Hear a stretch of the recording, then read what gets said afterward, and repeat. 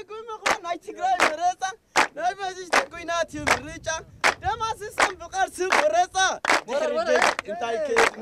ጀግናው የትግራይ ሰራዊት ሰላምን አሻፈረኝ ብሎ እየተንደረደረ ያለው የፋሽስቱ ቡድንና የተስፋፊው የአማራ ኃይል አከርካሪውን በመስበር ድሎችን እያስመዘገበ ይገኛል። በዚህም የትግራይ ሰራዊት እያስመዘገበ ላለው ድልና ለተላበሰው አይበገሬ ወኔና በሳሌ ውጊያ ስልት የጦር አመራሩና የአሰልጣኞቹ ሚና እየጎላ ነው። በሚሰጡት ተከታታይ ስልጠናዎችም ሰራዊቱ በአካላዊና በፖለቲካዊ ክህሎታቸው ብቁ ሳይንሳዊ ጥበብ የተላበሱ ወታደራዊ አሰልጣኞች ማፍራት እንደቻለ የትግራይ ሰራዊት አሰልጣኞች ይገልጻሉ።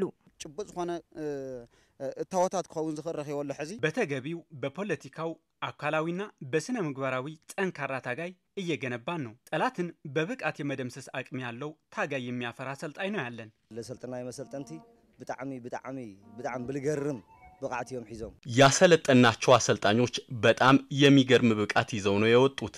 በሁሉም መልክ የሰጣቸውን ስልጠና በአግባቡ ነው የሚቀበሉት። አይምሯቸው ክፍት ነው። ከልብ ፈልገው አምነው ስለሚሰለጥኑ ጠላትን ለመደምሰስ ዝግጁ ሆነው ነው የሚገኙት።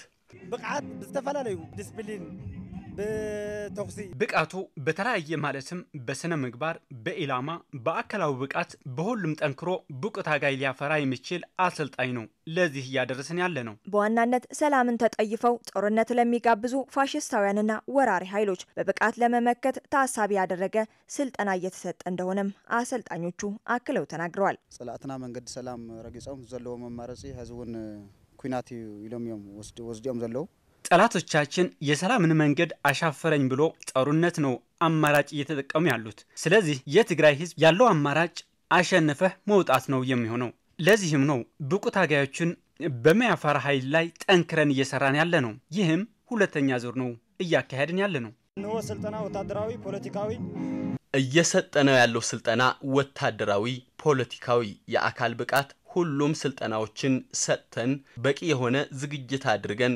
ጠንካራ ሰራዊት እየገነባን እንገኛለን። የትግራይ ህዝብ አሁንም በልጆቹ ሊኮራና ሊተማመን ይገባል ሲሉም ሰልጣኞቹ ገልጸዋል።